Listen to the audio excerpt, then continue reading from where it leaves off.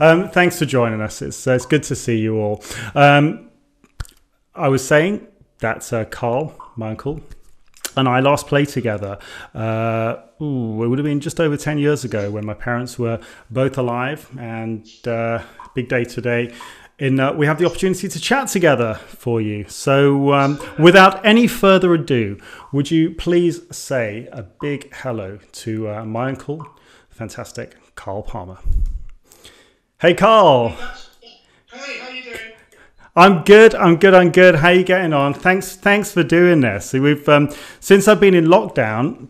Well, we have been in lockdown. We're sort of coming out of it now, aren't we? But I've been doing these live sessions and had some friends along. So um, Brian Bennett came along and had a chat a couple of weeks ago, and I just didn't think I could uh, miss the opportunity to have um, Uncle Carl here. So um, thanks for coming over. I enjoyed Brian Bennett. I thought that was really good. That was a good show. Yeah, it was just great. I mean, Brian's been such a uh, friend for um, a while now and such a, an influence on so many people. But um, how are you getting on anyway? What's been happening? Well, good. You know, I mean, basically, this is the 50th anniversary of Emerson Lake and Palmer this year. And unfortunately, uh, so many things have had to be put on hold because of the uh, pandemic. You know, mm. it's uh, mm. one of those things. We've had to shelve a movie that we were making with Radar, um, though it's just gone to Universal and Sony. Um, I believe they're putting in some offers or whatever, but it was to do with a concept from the Brain Salad Surgery album. There was a piece right. of music called Karn Evil 9, and they wanted to base the story around this Karn Evil 9. Uh, Daniel H. Watson was, uh, was writing it. Um, a great sci-fi writer from New York City or mm. Seattle area, actually. Um, then there was the um, documentary with BMG.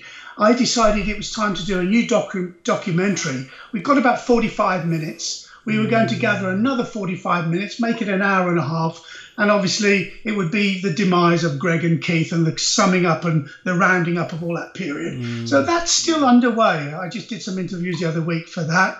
Uh, that's still going. Brilliant. And then there was the Emerson Lake and Palmer show where I was going to have live footage of Greg and Keith playing with me, along with Paul and Simon in my band playing I'm, on stage. Remember you telling me and about we that? We were going to do a we were going to do uh, a concert tour with Live Nation and possibly using an orchestra as well. Hmm. Well, a lot of that is on uh, is on hold at the moment. Actually, a very good friend of ours was helping me with that, David Frangioni. Yep, David, fantastic. He was going to do he was going to do the technical side, as you know. David mm, owns yeah. the um, the drummer magazine, Modern Drummer. So um, yeah, there's a lot going on. It's still there, but it, you know it's so slow. And now I'm getting requests every day for these uh, drive-in gigs. You know, do I want to do a drive-in gig where people sit in their cars and mm. and they're started. You know, they're working quite well. So I'll just have to look into it, see what we can do. Well, I know that you're um, you spend your life on the road playing gigs. I mean, how, how many gigs a year, Carl, do you play on average? I would think now it's probably, it's not, not the moment. Have you the lowest it's ever been? It's up until this point, eighty to ninety. Yeah. We norm. I never get more than about 147. That's when I'm like like really sort of like pushing the boat out a bit too far, I would say. But mm. I would say about 90 concerts a year mm. is what we do. And yeah. that would be really all with the band. I mean, I don't do drum clinics anymore. I mean, I basically do live concerts. Uh, and we're talking about maybe two six week tours of America each year, South mm. America every other year, Japan, Asia every other year. It might even be longer now with Japan. Mm. we might not go for that um, yeah, it's about 90 a year. That's yeah. about it. It's enough for me, to tell you the truth. Yeah. And um, I mean, we were just talking about COVID 19 earlier on and the fact that how, how it's decimated the industry.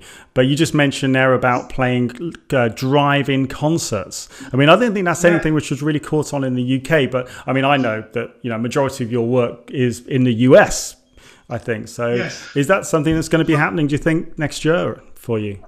Well, it's all, it's um, it started. Um, there's a concert going on with some country and western artists in June this mm. year, the end of June in America drive in. What it is, it's 300 cars and you pay per car. So in a car, you could have four people or five people, mm. and they've got the technology sorted out where they can have the sound come into the car via the digi radio. Mm. You'll have the sound coming off the stage, and you know that's what it will be. And they've started. They they had one in Denmark yeah. about a month ago, and they believe it or not.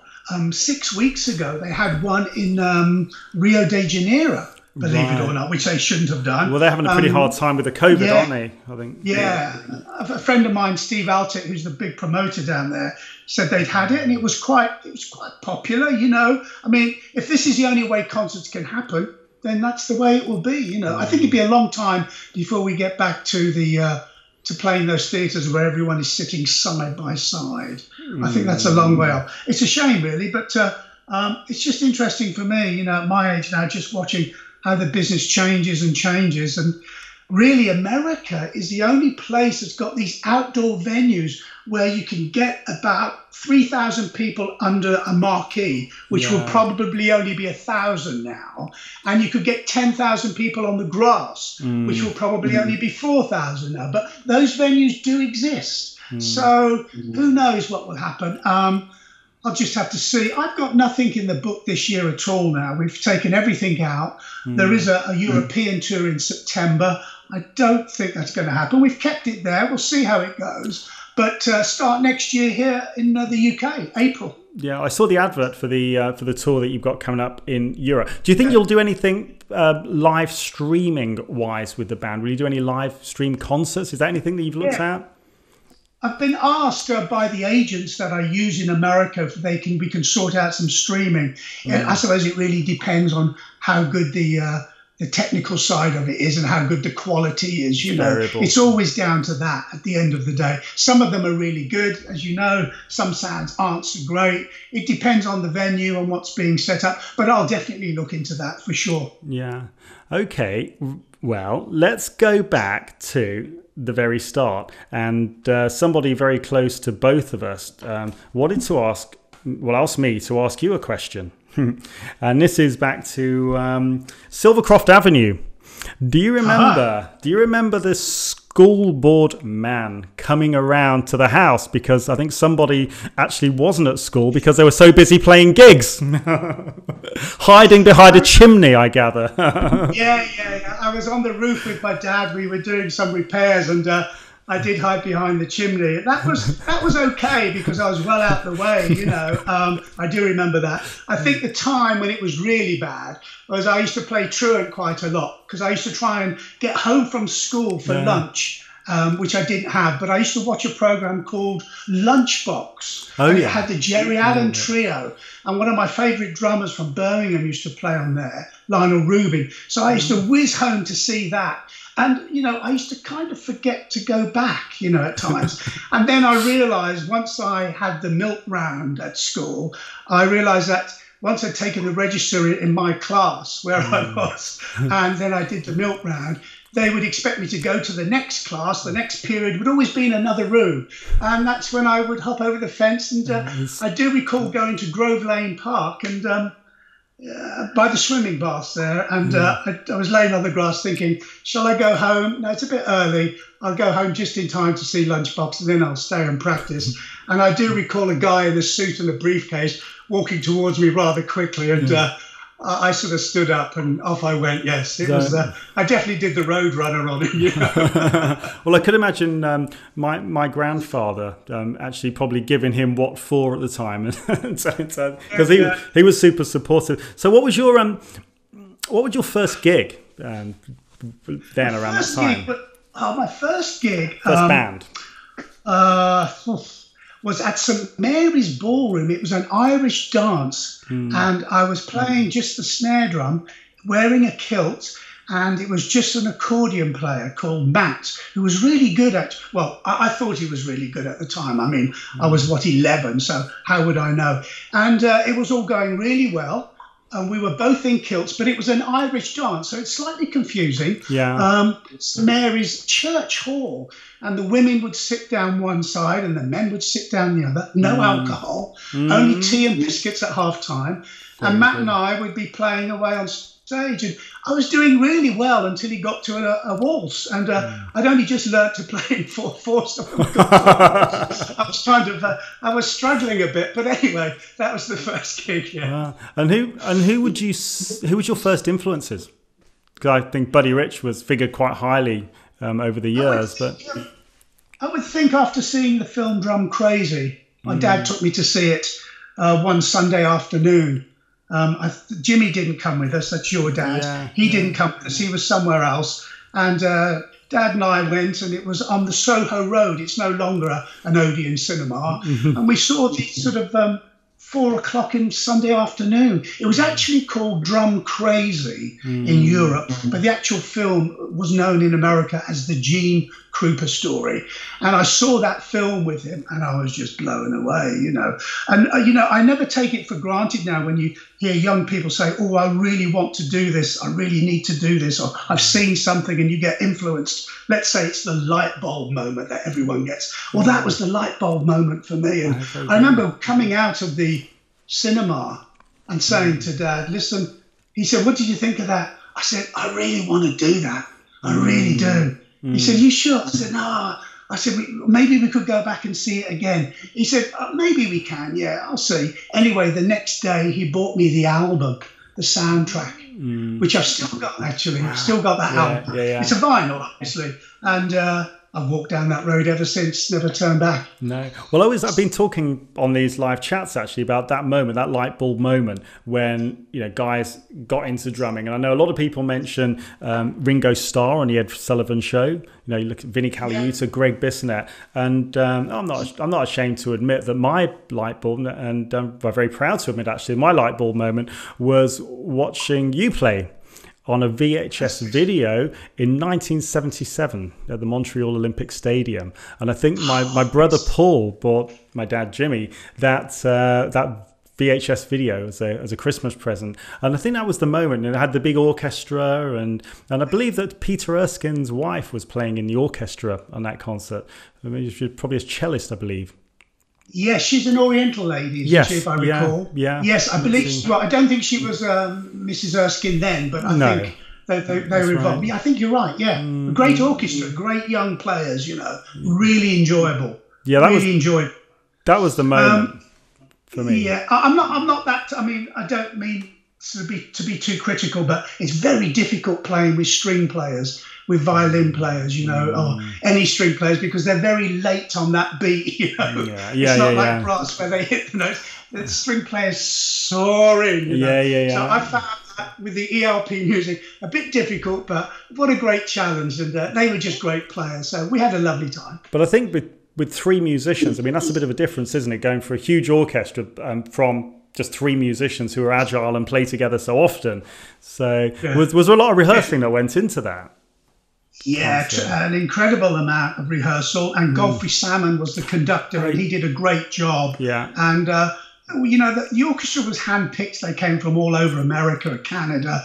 Um, it, was it was a great thing to do, and it went really well. And it lasted for three weeks, and then we had to play three weeks as a trio to put the book straight. You know, because um, it, it lost money. To be Yeah, honest, yeah. I mean, it didn't actually lose money long term because there was a video, there was an album, uh, you know, and there was merchandise and things. But uh, what a great experience! I mean, it's something. Um, you know, when you play in the Olympic Stadium Montreal in the winter and you make one of the first rock and roll videos of the guys walking in the snow and then oh, that playing was Fanfare for the Common Man, and then the next summer you're playing in there with a 60 piece orchestra plus choir. I mean, quite a fulfilling period. Yeah. Would you say that that was is that the high was that the highlight with the ELP? Would you say, or was that your favourite moment with the ELP? There's lots of highlights, but was that your favourite, your biggest moment? Would you say? I would hmm. say, I mean, obviously that was a big moment, and California Jam when there were like 120,000 people, that was hmm. another big moment. There's been many of them, but to tell you the truth, the one that always um, sticks in my mind, and not because I played well, I was kind of disappointed with my playing that night, and I remember kicking some hmm. drum cases and stuff in a bit of a temper, which I don't normally do, and that's the only time I could ever remember uh, doing it. But a concert that sticks in my mind was the first time we played at Carnegie Hall. I just couldn't believe that. I think it's because of, you'd already got the album by Dave Brubeck, the live at Carnegie Hall, Castilian drums, and I was just kind of, oh, kind of fluttering, you know. And, uh, I thought, wow, you know, this is a great place to play, and uh, Carnegie Hall itself is such an incredible sound. Yeah. You know, um, that one stays in my mind. Yeah, and I think it was, well, it was you originally that recommended that I went to for lessons with Joe Morello, And so, out of the two drummers, Buddy Rich and Joe Morello, I mean, they were huge influences. Um, how? I mean, completely different. You've got one who's a big band drummer, which is Buddy Rich, and uh, Joe Morello, who thought he was a big band drummer but played in a small group. Yeah. And I like the way Joe played in a small group because he was quite aggressive, tasteful, yeah. but mm. loud. And, uh, you know, he had. Um, he just had a, a lovely musical flow about it. Castilian drums being one, mm. which is a, hmm. that five drum solo from Carnegie Hall is just sensational. The drum solo in Take Five, which was the first million million dollar selling jazz album, my very first jazz album I ever bought, Time Out by Dave Brubeck. Yeah. Big influences. So that was a big influence. And then the, the Buddy Rich album, This One's for Basie which mm. is uh, the orchestrations on the album. This one's for Basie were done by Marty uh, Paich. And that's the father of David, David Paich, in Toto. Toto. Yeah, there was that. I, I, didn't know that at the time because Toto mm. didn't exist. But that album, um, this one's for Basie, had a track called jumping at the woodside. Yeah. And whilst the solo might sound a little old fashioned now, it just it just blew me away. And that was an album given to me, by the way, by Bruce Gaylor, who I believe Brian Bennett talked about last week. Well, I mentioned the teacher. I, yeah, well, I yeah. mentioned that to Brian, and he was uh, he remembers really clearly you going for lessons with uh, Bruce Gaylor, and uh, I think yeah. he was saying he was a pit drummer originally. Bruce Bruce Gaylor. Um, he was, yes. He didn't play a lot. He played with the King brothers, who were like a, a trio of uh, sort of Irish singers who were very good, sort of a harmony type of group, which he mm. played with. And he basically he didn't do the work that somebody like Kenny Clare did mm. or Ronnie Verrell. He never got into that area, but he was always so respected. And uh, when my dad, your dad's dad, our, mm got, wanted to try and get me lessons. Mm. Um, Kenny Clare was who we went after. Oh, and uh, yeah, we got yeah, hold of Kenny Clare, and um, I, I, just couldn't believe Kenny Clare when I saw him play at London mm. Palladium. I get the old flash of him playing uh, in the pit Sunday night at the London Palladium on the television, black and white. And I was going, yeah, him, can we get him? And, uh, yeah, and uh, Dad found him. He found him, and mm. you know. And Kenny was such a lovely man. He said, "There's one guy I can't do it. Too busy. Mm. There's one guy. Why don't you send him down to London once a week? So I travel down from mm. Birmingham. How old were you? How old were you then? Uh, um, 12 and a half, 13. Oh, wow, yeah. And uh, I'd go straight to, uh, I'd go, it was into Paddington then. I'd get the taxi straight over to Denman Street, Boosey and Hawkes. I'd meet Bruce in the shop. We'd have a cup of tea or some breakfast next door, straight down and do an hour and a half. And then the instructions was I get in a taxi immediately, hail one, and straight to the railway station and no messing about. And of course, that's what I did, and I loved it. You know, Bruce Gaylor was just an amazing teacher. Mm. He hmm. was. You know, some guys are great players, and some guys are great players and great teachers. Mm. He was both. He just never played, but he was a sensational player.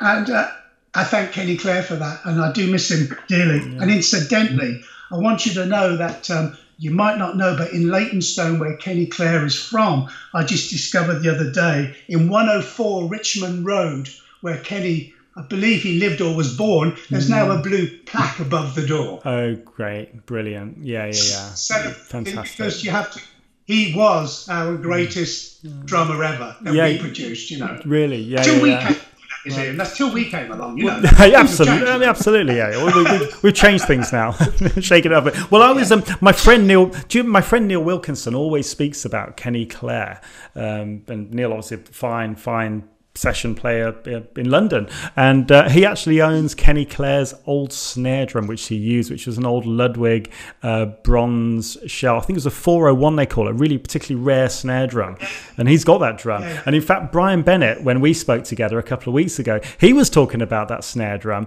and talking about the way he used to tune the drum, and he was saying that he detuned one of the lugs to basically get that dry sound, which was one of the things which Neil talks about now. I think if you want to see uh, on YouTube, you get any time at all to see Kenny play his very best. Um, 1974, mm. I think it's the might be the Royal Albert Hall or one of those on the embankment, Queen Elizabeth Hall or whatever. Anyway, it's with Tony Bennett. Oh, He's right, okay. Tony Bennett. And uh, Kenny's actually playing the um, premier drums at that stage, the ones that had that extra lining which they put inside the shell, which was a new uh, idea. Well, they used to have a, a regular shell and then put a complete lining uh, that you could remove inside the shell, and they reckon it gave it a bigger sound. Anyway, Kenny's playing White Marine Pearl premier drums in the orchestra backing Tony Bennett, and he plays sensational. I think I've seen some of the footage of that. It's on on YouTube as well. Did you say that? Yeah. There's a lot of it. Fantastic. Yeah. Yeah, yeah. really good. So I'm just looking here. There's a load of questions. So David Chase, who uh, comes to these chats quite often, just saying, I think it's more of a statement really. But um, my first exposure to your music was Asia. Then I discovered ELP. I was barely a teen. Thanks for the inspiration of my youth and beyond. So the question is. Um, was progressive drumming challenging back when ELP first formed? And what was your inspiration, um, or who was your inspiration as a young drummer? I think we've probably just covered that one, but um, yeah, was pro- progressive drumming challenging when you first formed ELP? It kind of what it was in a way, and it wasn't because I always wanted to be. Um, I always wanted to be in, in, in a rock band, but I've always had a quite uh, a love for classical music, uh, and a lot of the classical composers, you know, Shostakovich, Stravinsky, Bartok, and I've oh, I always enjoyed uh, Jacques Loussier because he used to play Bach and in a very controlled manner in a trio, and I always thought if I could get into a band that plays classical adaptations but in a modern contemporary way with the latest technology I, I would be that would be me if i could ever find that and of course i did find that with uh, with keith emerson. He had the same idea. He was already doing it with the nice so for me it wasn't challenging. It was really rewarding. I was ready for it and i was waiting for it you know. And uh, the only thing i ever did was i used to buy the mini scores in in Boosey and Hawkes so I'd listen to the recording of pictures at an exhibition, but I'd have the mini score as well. And if there's something I wanted to play that the percussion section played, I, I could I've got it there for a reference. I'll be honest with you, I never did. I just made up my own stuff as I went because it was better as far as I was. Yeah, yeah. But um, it wasn't that challenging. It was really um, incredibly rewarding, incredibly rewarding, and it suited uh, it suited the makeup of the family because if you think about it, the grandfather was a classical musician. Uh, who- he taught at the Royal Academy, played violin. Yeah. His brother was a drummer. Yeah, mm-hmm. Cyril. Yeah, Cyril yeah. was a Yeah, yeah. Uh, so I had the, the classical thing, the jazz thing, and my first jazz record was Time Out, The- Dave Brubeck, and mm. that had all that 5 4 stuff on it there, you know, mm. Rondo a la Turk, you know. I thought, oh, this was me. How can I put those two things together? Was that your idea to cover that with ELP? Yes, we did. Yeah, I mean, ELP was, was perfect for me. Was that your idea? Was that? No, I was going Yeah, to say, was that probably was the best musician that I've ever worked with. You know, from the point of view of having a synergy, that's really, really on it. yeah with me. Yeah, there was definitely. I mean, that was a that was just the chemistry, wasn't it? With with you three together, that was the thing, and it was just the perf- the perfect chemistry. Um, Yeah. which um, kind of leads me to another question, actually, which has just occurred to me. I mean, certainly now in the modern world of pop. The idea is that you are totally precise and playing exactly the same thing night after night. With ELP, Yes. did you have the opportunity? Did you find that the music evolved as a tour went on, or did you stick very strictly to the same parts from beginning to the end of the tour? We had we had parts, say for Tarkus or pictures at an exhibition, were, which were worked out exactly, and we mm. play the same every mm. night. The same drum fill, it would be the same. Mm. But that might lead into a section where there's a keyboard solo, and that keyboard solo could go 32 bars, 16 bars, really depended on Keith. That was the moment for the improvisation, and every man to his own. Get in there and do what you can do and make this sound as hmm. eventful as possible. So there was always the areas, but they were heavily disguised by proper orchestrations, which were played night after night religiously. Okay. So we had the we had the freedom, but the structure was always very sound. That's good. I mean, I think having that freedom within the music to allow things to evolve, I think is important. I mean, I, I always loved it with Buddy that he never approached. You listen to the same track on a Buddy Rich record, and you'd play, you know, the eight bar break different on each one, which always was amazing. he, was, he was great. and, uh, yeah, I know exactly what you mean. Yeah. And I think you ended up playing with um, Buddy's big band in you at, at one point. Well, tell us about that. Yeah, I did. Uh, well, I was in a Ronnie Scott's club. Um, well, there's twice actually. We were in Ronnie Scott's club. I was with Keith, and um, and I'd said hello to Buddy because we'd been friends since I was about 15, 16. Mm. And um, uh, he was kind of bantering whether we should get up and play. And I said, well, you know, yeah, Keith, do you want to come and play? Keith didn't want to do it. So he said, mm. no, we said, we'll watch you. We were just starting to eat, actually. Yeah. So that was the problem. So mm. anyway, um, that was the first time I actually didn't play, but that was the first time I got the invite. And then I think it was back sort of round about, I don't know, 83 or something like that. Anyway, he was at Ronnie Scott's and uh, he, he had come to the end of the evening and the end of the week's performance, I believe. And he said, Carl, would you like to come up and play? I said, um, yeah, mm. of course. And uh, he had his uh, 1947 Radio Kings. It's really brave. So, yeah, so I got up there and uh, he said, "Don't move anything, don't touch anything," you know, because yeah. I, I, tried to move the stuff, but in actual fact, Buddy always used to have his drums set up on a piece of plywood, very thin, uh, with some like little nails and things holding things in place. Mm-hmm. So I got there, and uh, he said, "What do you want to play?" So I quickly thought to myself, "I'm not going to mention anything." I said, "Whatever you want me to play, I'll play." Mm-hmm. So he said, "Shawnee." Yeah.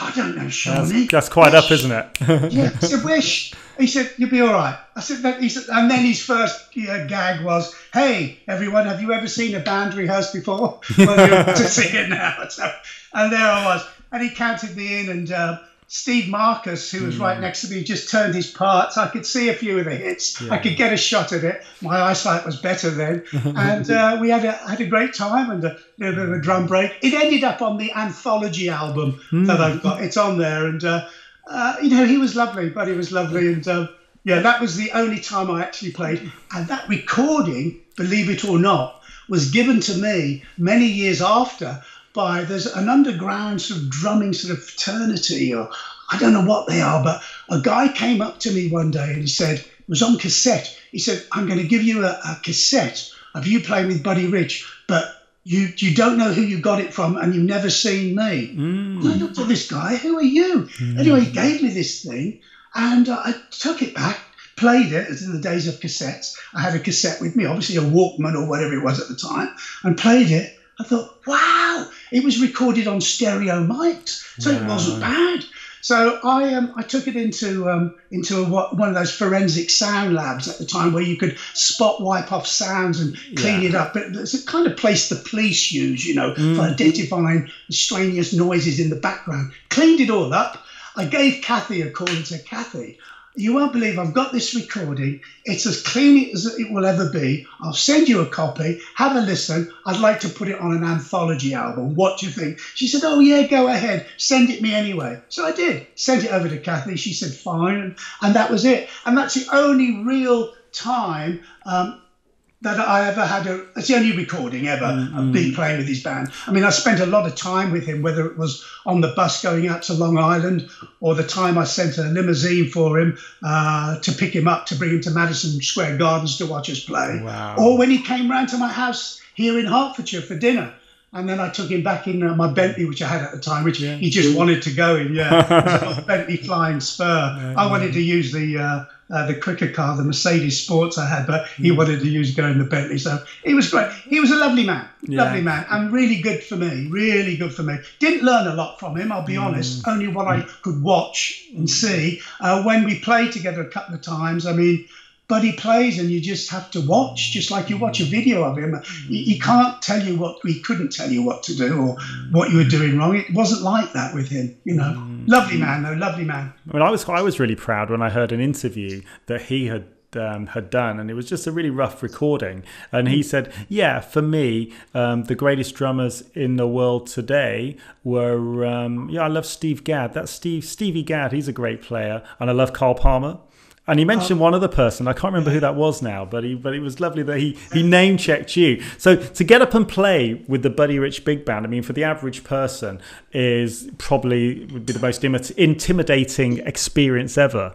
I mean, did you not feel nervous getting up there? Did you did you doubt yourself at all? I mean, musicians. I, I did. I mean, I, you probably know, I mean, I've talked about it before. You know, I, I love to watch big band drummers, uh, and I like big band music. I've never really wanted to play it as a profession myself all mm. of the time. You know, it's not something that's attracted me. I've enjoyed that sort of more contemporary sort of rock music type of thing. Mm. But I understand the challenge. I've always looked up to these players and they've always been part of my life. So to do that mm-hmm. was like huge, you know. What I really wanted though was more was to was to meet the man, understand him, and try and find out where this stuff comes from, why he's so great, and what did he do. And uh, mm. I just read a new book the other day uh, that somebody gave me about Buddy Rich, and uh, you know, mm. this chap was saying, you know, that Buddy actually practiced, and I never saw him practice, but mm. apparently he, he did he did practice, not yeah. a lot, but he did practice before he went on. Mm. He did warm up.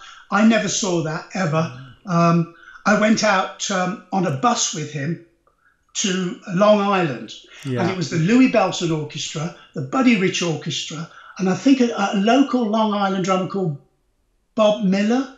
I can't remember. Anyway, it was yeah. the three of them. And when we got there, um, Louie Bellson was playing, and uh, Buddy was, you know, they were setting up his drums and things, and Buddy and Louis got on incredibly well, and Buddy was at the side of the stage hissing, going. and Louie was smiling, and they they were very close. They yeah. were very close. I mean, uh, yeah, when they came off, it was so many hugs and kisses, you just couldn't believe it. Yeah. And uh, then Buddy played, and uh, he was just the greatest, you know. Mm. So it was very nice of him to, to, take me out on the band bus. Mm. He gave me the tour of Manhattan, the lecture about all the theatres and what they were historically, and you know, in his day, you know, this. Oh, we used to go and see Gene Krupa then. I'd go, you know, this and that. And it was lovely. Anyway, coming back from that gig on the bus, I said to him, how about dinner then? We could get something to eat. We could go to the Carnegie or we could go, there's like the stage, one of those delis, because he only lived around the corner, mm. uh, Lincoln Plaza by the by the park. Yeah. Oh, he said, no, I'm fine. He said, I, have got I've got something to eat. So I said, no, let me, I said, let me do it. You brought me out. Let, let me take it for dinner. He said, no, I'm fine, Carl, honestly. And uh, it was uh, it was a, one of the sad moments actually because. Um, I might have mentioned this in my autobiography that's sort of going to come out later this year, or probably possibly for Christmas. But as I said that to him, he said, No, I'm fine, I'm okay. He reached under his seat and he pulled out a carton of milk that was already opened, a small carton of milk. And then he pulled out a brown bag mm. and he opened it up, and there was like a, a, Danish pastry or something in there. It looked like somebody had sat on it, you know. Mm. And he said, I'm fine. And I said, but you know, he said, no, no. He said, I'm used to eating like this. He said, I'm fine, honestly. Mm. And I realised that uh, that was him. That was him being Buddy, and that's the way he'd been all of his life. You know, yeah. he was a real road rat. Mm. He'd lived on the road from you know two years old Mm. And uh, that's what it was all about. And it wasn't as if uh, he wanted to go for dinner. It's not that he mm. wanted to do that. He just wanted to get home. He was staying in his own apartment that night, which is probably a rarity anyway. Yeah, yeah. So, I mean, I got it. I got it. But uh, I felt I had to offer. And uh, that was the kind of relationship we had. It was, it was pretty cool. And uh, I've had a great relationship with uh, Kathy and Greg Potter over the years as well. You know, that's that's been pretty solid. So well, it's, just, it's been a nice uh, nice environment to be part of. Yeah, well, I was going to say about Buddy. I mean, you had the challenge we spoke about with with Emerson Lake and Palmer carrying an orchestra with you and the financial limitations. And, you know, at the time ELP was huge. But Buddy Rich was going, was carrying an orchestra and a 17, 18 piece orchestra around with him for years and years and years, playing in relatively small venues. So the financial challenges um, that he must have faced in order to do that were pretty, pretty huge, I'd have thought. Yeah, I mean, I asked, you know, I, I mean, I'll be very honest with you. I did ask. I said, "Can you tell me how you run a big band? How that's done?"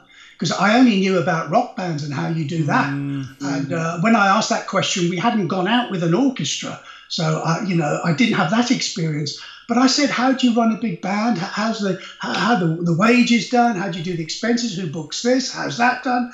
And he just looked at me and he said, I play drums. Mm. That's mm. what I do. Yeah. I yeah. said, oh, okay. I said, I was just, just you know, interested. He said, Mm. I play drums, and that was it, and that was fine. You know, listen, I, think, um, you know, he did such a great job and was such a, a great musician. If he didn't want to get involved with the arrangements and someone else did it for him, understandable, you know, because uh, he made up for it in every other way possible, you know. So No, there you go. So, so moving on then, and there was then was Asia in the eighties. Now, around that time, I mean, I had lots of heroes, drummers around that time, and Asia obviously was was a big part of my life. But um, Toto were around at that time as well, and I was a big, you know, uh, drummers worldwide, huge Jeff Porcaro's fans. Yes. Did you ever did you ever met, meet Jeff? No, I mean, I played hmm. with Steve Lukather a couple of times on Asia tracks way back when Yeah. in Los Angeles. Yeah, we did that. But no, I never met uh, Porcaro. Never, oh, never met him. Mm, um, mm. I knew his dad vaguely, met him mm. once. He didn't know who I was at the time. Um, but no, I never met him. Never. But a great drummer. I mean, you know, one of those all time sort of session greats taking off his dad, who was a session great. Yeah, Uh, yeah lovely. Great and, player. and I, uh, Steve Porcaro said that one of his ter- big moments in his life was seeing Keith Emerson play with ELP. Um, Steve Porcaro being a keyboard player, of course, with um, Toto, who is uh, you know, st- still still still was still with the band until uh, they finished recently. So uh, let's have a look at some more questions here. Um, so. Ooh, where are okay? Yeah, here's one from Richard. He's asking, Carl, you're a very physical player. How do you stay in shape? Sorry, I know I missed that. You No, froze on me. so, Sorry. Rich, so Richard Harris is saying here, Carl, you're a very physical player. How do you stay in shape? Well, with great difficulty, I will tell you that. um, uh, one of the problems I have is as I've got older, I can't change the way I play. And if I did, I would be sort of cheating the public, as it were, and cheating myself, which is even worse. Um, I mean, I do what I can. You know, uh, I've been a vegan for about eight years. Um, I'm very careful um, about what I do exercise wise. I've been running four times this week. You know, I do sit ups, I play every day. Um, I mean, to prove it, you know, I've got my pad right here. You know, Beautiful, beautiful, yeah. you know, I'm ready to go all the time. Yeah. Um, it, it's you know, it's difficult really, but it's about not taking a lot of drugs. It's about not mm. drinking a lot. It's about eating well, sleeping well, mm-hmm. and if you're in it for the long haul, you realise that all of those things will add up over a long period of mm. time, and they've stood me in good stead. You know, I mm. still feel like really good, and I really want to play all the time. I've just got um, I've just got a lot of energy. And John Wetton used to always say, Carly said, you make coffee nervous. yeah, yeah, yeah. Well, my, that's the way it is. I'm just, I, I'm sort of naturally hyper, you know. well, my friend Mark Mondesir, he was saying, oh, I played a drumming show with them, Carl in Germany. And he said oh, he's amazing. He said he, he was playing like he was going to get arrested. He was playing like it was his. that was his expression. So It's there's- always going to be the last time, isn't it? So you've got to give it everything you've got. You know, that's how I look at it. Yeah. And uh, I remember playing at the Elizabeth, uh, uh, Queen Elizabeth Hall, is it, for Rhythm Magazine. There was Mm. that drummer event they used to have. And uh, Steve Smith was on the same bill and he came to the sound check. I didn't know he was there and I was playing. And he said, Carl, this is one of the first times I'd ever seen him. He said, Carl, leave some for the show. Said, I've got plenty for the show. I said, I'm just warming up. I said, that's what I do, you know. Um, and he's become a good friend over the years. Uh, as you can imagine, in 2017, I played about 47 concerts with Steve when he was in Journey at the time and Asia was the support. Uh, but he was a great guy. Great yeah, guy. yeah, no. Okay, let's just go with another question here from um, Tanya. A question for Carl. Um, when you did the 1977 video, Fanfare for the Common Man, um, were you guys as cold as it looked? It seems free, it seemed freezing. Also, I saw a very recent comment on YouTube. Um, ELP, they were playing in quarantine before it was cool. Yeah. Well, to be honest, that was one of the first rock videos. To be honest with you, and uh, that idea of all pl- of walking in the snow to the stage then playing uh, was a great idea at the time until you got out there. You know, when it's about you know sort of ten degrees below or whatever, and you, you are freezing off. You know, like you would not believe. uh, was okay. So what we did, because we realised it was so cold, we restricted it to um, uh, one shoot, us all walking to the stage, and then four shoots. One all the way through on the drums, one all the way through on the bass, one all the way through on the keyboards, and then one all the way through all together. And Yeah. we said, if you haven't got it after that, we're not doing it. yeah, bad luck. and uh, you know, we well, I think you can see the you can see the breathing, the breaths. You know, it Yeah. was so cold. You know, Yeah, um, it was very cold. Yeah, it was really cold. Oh. But we were kind of used to the cold, but not used to outside playing in it. You know, it was it was weird. I it was playback, by the way. We we, we were miming. Mm, I was going to say because I, I struggle to play when I'm cold. I can't play in a cold. In It's really. very, it was very difficult. I mean, there was lots of bowls of soup and hot dogs and burgers and things flying, flying around. so um, okay so just to wrap this thing up very shortly actually well we've been going for 45 minutes um, are there any other questions here that are um, any good questions? Someone asked me actually, and someone sent me a message and said, um, I, I know the answer to this one, but someone asked me, whatever happened to that stainless steel drum kit that you used with the LP? Well, it's actually with a gentleman called David Frangioni, who owns Modern Drummer. He's got a museum which he's never quite opened yet. It's in Florida, and he also put, um, produced a book called Crash, which I wrote the forward for, and that um, itemizes all of these great drum sets through the history of rock. You know, from Kiss to to, to Rush to ELP to whoever, and David's now got it. Um, but between David and myself, it did go via Ringo Starr uh, because we thought that um, Ringo's son was going to be using it, but he never did. Uh, yeah. um, and then Ringo ended up selling it, and that was it. And, and David bought it. Yeah. Wasn't there a funny story with um, Ringo Starr when he said to you, I've got it, I've got it, I've got it. And you said, Well, what have you got? Said, Oh yeah, yeah. um, we were going to. Um, I had to call up the office or Ringo's um, PA or whoever it was when we did the. Um, was it 2012? Um, the prog rock show here in London at uh, the park here over in East London. We were, it was the first time ELP had played in years, and we were going to play a concert. It was the last concert we played, and we started talking about why don't we bring all the retro equipment back. So I called up and said, Look, I might want this drum set back. Could I rent it back for the day, or can I work out a deal with you, or whatever? And because I think they got all excited that I was going to use it, but uh, thank God uh, we dropped it, and uh, I used my Ludwig drum set, the uh, 100th anniversary drum set that Ludwig made for me. So um, yeah, I, I didn't want the drum set back. It's you know it's nothing that I use or play these days. So there you go. But it was a great set. I don't think anyone could have lifted the bass drum on that drum set, they could, they actually. It took two people, two people. yeah, yeah, yeah. Yes. So you're not gonna- Wearing body, wearing body belts. Yeah, right. Well, I wasn't going to put it in the back of my car and bring it along to the gig for you. That's for sure. Um, um, so, oh, someone we know very, very well is here. Um, Uncle Steve, brother Steve. Um, maybe, maybe Carl could say something about his drum and percussion teachers. Yeah, Tommy Cunliffe, Lionel Rubin, and James Blades. Well, I can, yes. Tommy Cunliffe was the very first teacher. Very first teacher. James Blades was one of the first guys that I had in um, in London, along with Gilbert Webster from the Guildhall. And this here is the only real, and I thank Steve for getting it back. This is the only real Palmer drum alive that's going and working and up and running. It's it's missing something. Um, I'll tell you about that in a minute. But this drum was played by Dad Yeah. your dad's dad, Mm. my dad. It was played by me. It was played by Steve. And uh, this is the drum that you will end up getting and you'll have to keep because this is the only real Oh. Palmer drum. Now, this used to be part of a set. Yes. Stephen used it for teaching. I believe he gave it to some uh, some guys at a school or whatever to use. They trashed it. One day I said to Steve, "Where is the the drum set? You know, the Rogers drum set. You know, this red sort of sparkle, or crackle, whatever it is."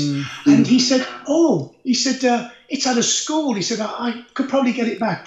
So I said, "See if you can." Anyway, Steve tried, and he found the only thing that there was kind of in one piece um, was this, the snare drum, which is the most important part. Anyway, it came back without Beautiful. a snare release. Can you hold it? Can you hold it up closer to the camera there, Carl? Yeah, I, I got Yeah. a brand new snare release Oh, beautiful. Yeah, yeah, Uh, yeah, yeah. And all it's missing, all it's missing now, and you can't get it till I get it, is a, a Rogers badge, the scroll badge. Now I've got one.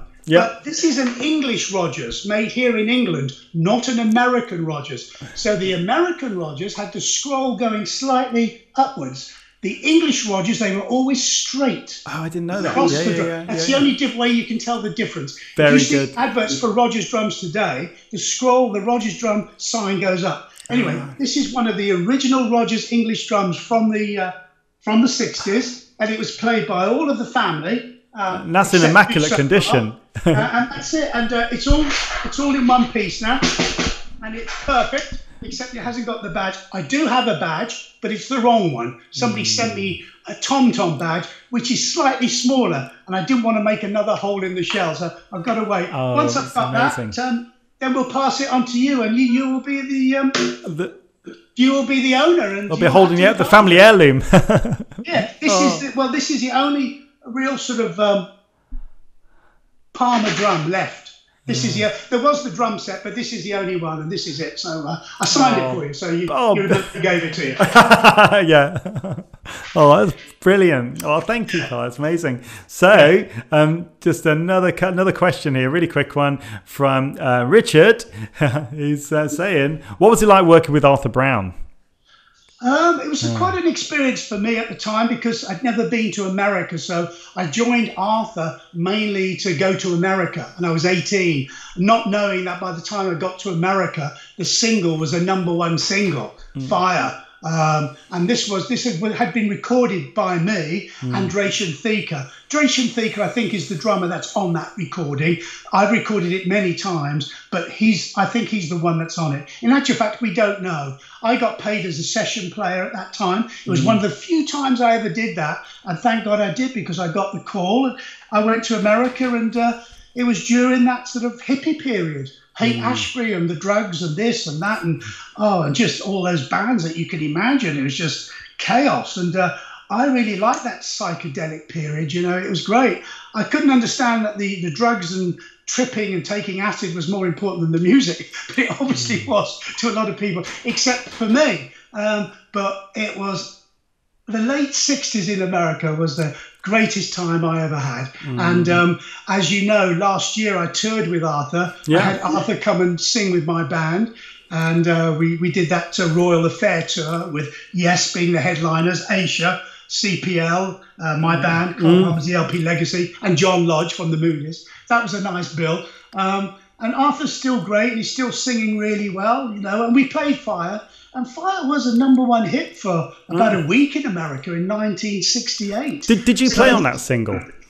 No, No. That, that single originally was recorded by Drachen Theaker. Oh, sorry. When, Yeah. when we actually got the tape boxes to see who played on what track, Mm. uh, all we know is is that um, the, the keyboards were the same on all tracks, which was Vincent Crane, Yeah. but the boxes weren't marked. Kit Lambert, who did was the producer and the tape op, in those days they never marked the boxes, so you never knew who was on what. So there was a band with Drachen Theaker, Nick Graham, I think it was, and Vincent Crane and Arthur. That was the original. Crazy World, you know. And it was only when uh, Drachen, um, who's dead now unfortunately, uh, went a bit strange and wanted to go and join some sect somewhere. Yes, um, you do. they called me up and said, "Would you come to America?" Which was a bit of a thing, really. I didn't really, um, I didn't really want to do it because I thought, well, you know, it's a long way to go if I don't like it. But I wanted to see America, wanted to see where all some of the best drummers had come from. Yeah. And yeah, as soon as they sent the ticket through, I was at the airport, you know, on the plane. Yeah, and Spend spent at least until recently, you were spending most of your life there, I guess. Then with the, with the band. So, um, well, just before we finish, Yeah. who at the moment inspires you? What which current drummers at the moment do you love to listen to? You know, I knew that you might ask that, you know, and I've got a, a, bit of a list here. I actually Ah. put a list together of guys. One of the guys I really like is Eric Moore. Yeah, yeah, yeah. Eric Moore, Chris Coleman, I think is very, very cool.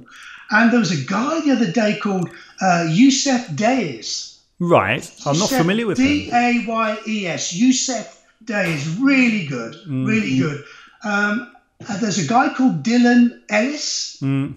who plays in Tower of Power, is it? Or is it um, Chicago, one of those bands? Mm-hmm. Um, there's another guy called uh, Travis Orbin. Right. Very, very cool. There's a great jazz drummer who's a little bit older, but very cool. Willie Jones II. Mm. Very, very nice player. Um, uh, and there's a guy called uh, Jotan Afanador. Afanador. Jotan Afanador. Really cool player. Fantastic. I mean, These are I- new I- names. yeah. I mean, I, I do YouTube, you know, once a month and check out all the drummers and then write down. If I read something good about a drummer, I, I just have to go and find out about it and see if it's true. And uh, I've got these, uh, I've got this list here of guys that I listen to, and they're just, um, they're just fantastic. That guy uh, Benny Greb is it? He's fantastic. Oh, Benny Greb's fantastic. Yeah, yeah, German. yeah, no, it's really very cool. And uh, Well, I'm going to have to get that list from you and, Yeah. and check some of those guys. Do you have you heard of a drummer called um, Thomas Cremier? Thomas, no, He's a French guy with like the most amazing double bass drum shots.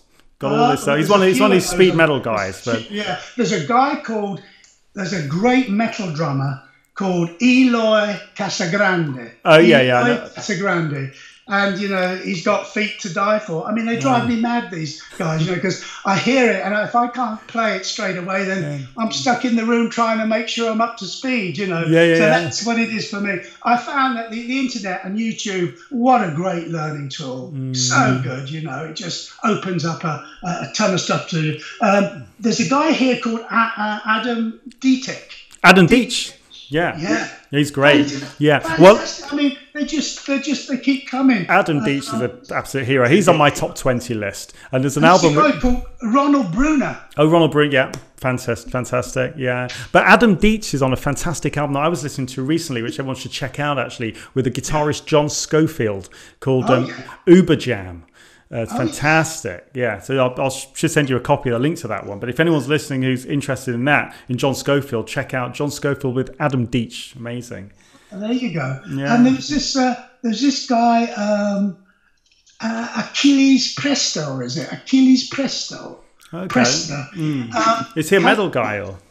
It's, it's like um, this guy kind of does handstands on his drum stool and body flips and stuff, but plays like you would not believe. I mean, he's just sensational. Um, yeah, they drive me mad, you know, because the standard Yeah. is so high today. You know, it is ridiculous. You can't sit still for a minute, and uh, you don't want to be known as an old guy. You want to be known as somebody who keeps on knocking at the door and giving it a go. You know? but this, it's it's the one. Oh, the young guy um, from Nor- from Norway, or is it Swe- some Sweden? Uh, uh, Barnard Kolstad. Okay, it's a new one. Yeah, these are all new. A lot of fifty percent of these are new names on me. I'm getting a, bit behind here. Sharp, hey, sharpen up, sharpen up. still, still listening to Gadd and Vinnie. Yeah, oh no, me too, me too. um, uh, so- Steve, uh, I love Steve Gadd. You know, he's been a great friend over the years, and um, Yeah. I um, I rehearse in a town called Rochester, upstate New York. Hometown Steve Gadd's brother still lives in the town. He's the local hairdresser. hairdresser. Yeah, yeah, yeah. That was- yeah, brilliant. Oh, oh, it's, it's um. Well, Carl, Last, last time I saw Steve was at your event at the um, that event last time Well, you did. It was in Northampton, I believe. Yeah, well, we've been talking about doing another one of those events. I'm not quite sure if it'll be with a big band, but um, Yeah. the great thing is now, I mean, uh, certainly up until very recently, all these guys, you know, were, were playing lots in London. You know, Steve is at Ronnie Scott's very often, or at least he Yeah. was. And I think Yeah. he'll probably be back before the end of the year. So, um, yeah, I want to try and organise that. That concert was amazing. In fact, the footage is still on YouTube if anyone's interested. That's good. That's nice. Yeah, Yeah, so we've got four four parts on, on YouTube. So yeah, yeah. so, so what is so you've got the tour coming up, you've got the European tour happening, hopefully all being well. Possibly in September, if not November. And if it's if it's not safe, um, because you know I've got, a, as you know, I've got a little bit of a heart condition, so I have to be a bit careful. If it's not safe, we'll push everything into 2021, and then I'll celebrate the 50th anniversary of ELP through 2021, 22, and then by the end of 2023, the um, the radar film of Karn Evil 9 hmm. it will be out. So there'll be a lot to celebrate and play and do Yeah. over the three years. So I've got no plans on retiring. I was going to ask that question. Would you ever retire from playing? I mean, what am I going to do here? You know, I can't retire. You know, it's a lot of everyone says it's the only thing Kate- that I, I I know. It's not that with me. If I wake up and don't play drums during the day, Hmm. you know, every day somewhere, then you know I feel what's gone wrong. You know, there's something missing. You know, Yeah. um, I just love it still. I just love it. I just love it. And poor, poor old Katie will have you at home then for, for Well, you know, I mean, she'll she's drive not you. that pleased. Well, she, she loves it,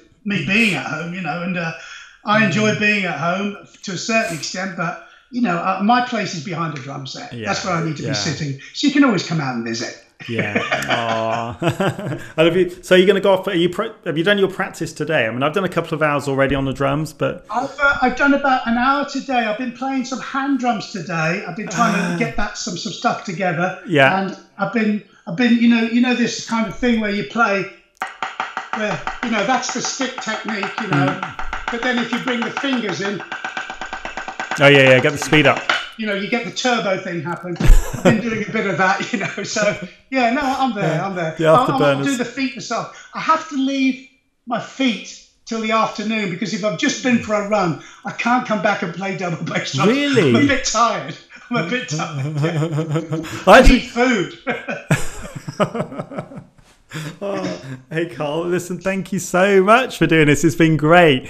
You're So, welcome in. Yeah. Keep it up, and um, I hope it gets bigger and bigger for you. And all the guys looking in, you know, just keep checking this stuff out because this is where it's at. Yeah. Oh, bless you, Carl. Listen, we'll speak a bit later on anyway. And Okay. uh, but thanks for thanks for dropping by, and uh, let's let's chat later. But An absolute pleasure. We'll catch you later. thanks so much. Care. thanks, See. Carl. Cheers. Bye. Fantastic. So that was definitely a uh, a special moment. So um, it's going to turn Carl off there. So yeah, that was definitely a um, a special moment. So um, can you see me? Yeah, great. So um, really, really um, on a massive high after that. Thanks everybody for joining me. Amazing. So. I'm going to be um, back next Monday to do my live stream on my own, where I'm going to be playing some more drums, talking, and uh, just generally having a conversation. That's Monday at three o'clock. Um, I'm doing my masterclass then uh, next Wednesday um, week. Uh, so yeah, I can't remember what the date is now, but so next Wednesday, uh, if you're interested, at three o'clock, and then the following Friday, um, I'm doing my afternoon chat with. Um, the fabulous Johnny Thirkell. Um, if any of you guys know of Johnny, he's a fantastic, probably the country's most recorded trumpet player. He'd played on um, practically. Look at it. Look at his uh, Wikipedia page. He's played on practically every. Um, uh, single that's had uh, trumpet on it from about 1984 and his uh, original gig was the uh, buddy rich big band who we were talking about earlier on so hey listen thanks everyone for coming to um, for check this out it's been um, it's been a fantastic afternoon i'm uh, a little bit emotional actually so um, but listen wishing you a fantastic weekend. Have a great weekend and uh, come back and join me on Monday where I'll play some more and we'll do a bit of talking and uh, a bit more talking about drums. And uh, that's where we're at. So listen, have a good one. Great to see you. Sending lots of love to you and your families. Keep well and um, I'll catch you next week. Bye for now.